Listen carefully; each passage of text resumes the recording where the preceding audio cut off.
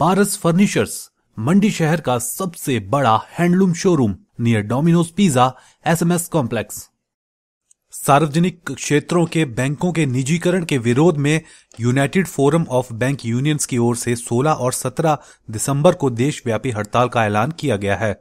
Union का आरोप है कि केंद्र सरकार बैंकों का निजीकरण कर पूंजीपतियों के हाथों में पैसे सौंपने की साजिश रच रही है।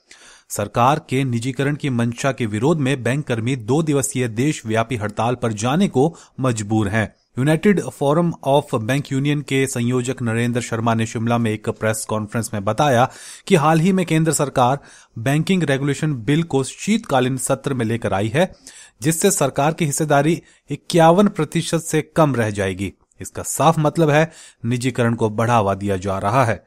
उन्होंने बताया कि देश की आर्थिकी को मज़बूत करने में सरकारी बैंकों की महत्वपूर्ण भूमिका रही है। बैंकों का निजीकरण हरगज बर्दाश्त नहीं किया जाएगा।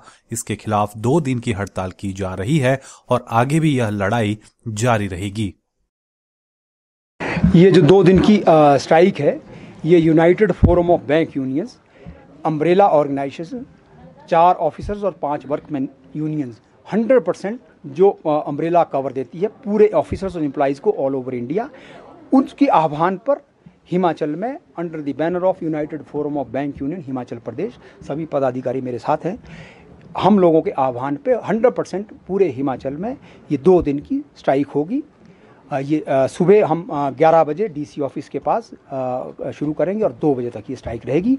ये बैंकों के निजीकरण के खिलाफ ये स्ट्राइक है।